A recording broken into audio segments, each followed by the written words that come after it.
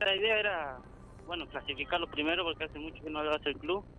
Así que muy contento porque hoy se me dan los goles. La verdad venía tanto sal- salado, digamos. Sí, y bueno, pude llevar los dos. En el segundo dije, nada, tengo que pinchar la una. y, y bueno, pasó. Así que nada, contento, contento. Ahora a meterle la- los cruces. Le fuiste a gritar allá a los goles a los hinchas del Caco y te sacaste la camiseta. Sí, nada, lo dediqué a mi primo Giroy que estuvo expulsado. Así que, y nada, y contento porque le quería dar tanto esto y hoy venía en el viaje y dije, tengo que ser el mejor. Así que, bueno, se me dio como quería. Eh, ¿Sos el encargado de los penales? Porque lo pateaste muy bien. Eh, sí, Rabino, me, por ahí le digo, me enseña a patear penales.